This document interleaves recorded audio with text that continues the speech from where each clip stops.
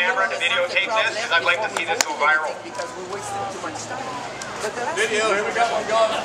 This, this is a letter to Christy Clark. Oh yeah. And we're all familiar with Christy. The people of BC want an election to be held as soon as possible. Your cabinet is operating without a mandate from the people. The people of BC have no confidence in your ability to govern in our best interest. You have continually fudged budget forecasts to suit the election cycle.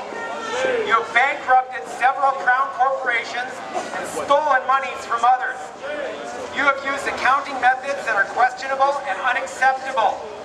You have lied to the people of BC with every promise for having a timely election to restoring our tax system and providing fiscally responsible economic and environmental leadership. You have eliminated thousands of middle-class jobs. You have destroyed our social networks and our public service. You have turned your backs on our judicial system and its dysfunction. At the same time, you pledge support for Harper's stupid crime bill. And worst of all, you have failed miserably the children of this province who live in poverty.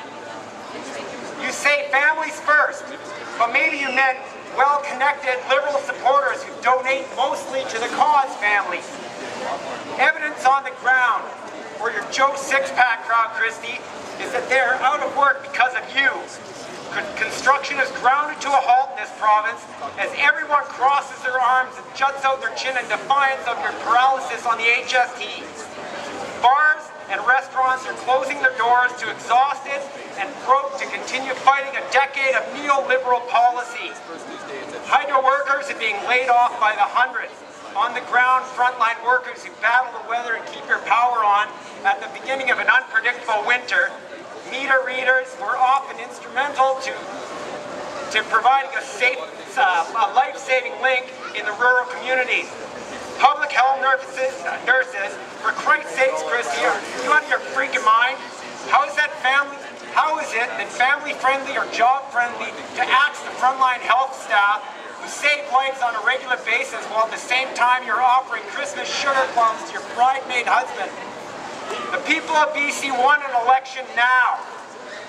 Campaign on your own money until every child in BC is lifted out of poverty, until you show us your plan and give us a chance to vote on it.